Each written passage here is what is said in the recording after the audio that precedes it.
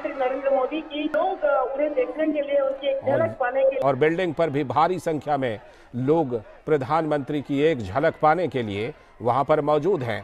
आयशा इस कनेक्ट का मैं एक मैंने हमने एक और आ, आ, ये उदाहरण देखा था जब प्रधानमंत्री नरेंद्र मोदी बेलगावी में रोड शो कर रहे हैं और रोड के दोनों तरफ़ भारी संख्या में हुजूम है लोगों का सैलाब है। और प्रधानमंत्री की एक झलक पाने के लिए लोग वहाँ पर खड़े हैं, अभिवादन कर रहे हैं और प्रधानमंत्री भी गाड़ी से बाहर निकलकर खड़े होकर लोगों के अभिवादन का हाथ हिलाकर जवाब दे रहे हैं और प्रधानमंत्री की गाड़ी की हालत देखिए, उस पर आपको सिर्फ़ फूल और फूल ही नज़र आएँगे।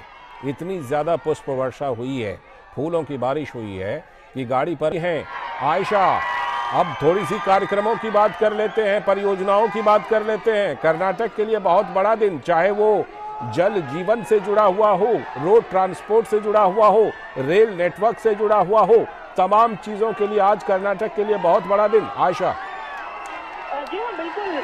आज कर्नाटक के लिए बहुत बड़ा दिन है। प्रधानमंत्री नरेंद्र मोदी ने शिवमोगा में एयरपोर्ट के साथ साथ सड़क और ट्रेन की योजनाएँ भी भी योजनाओं का भी उद्घाटन किया क्योंकि आप अंदाज़ा लगा सकते हैं कि कैसे एक एयरपोर्ट के तैयार होते ही एयरपोर्ट के आसपास का जो इकोसिस्टम तैयार होता है जो जहाँ और इस इकोसिस्टम के तहत सड़क और रेल का इंफ्रास्ट्रक्चर भी तैयार हो रहा है।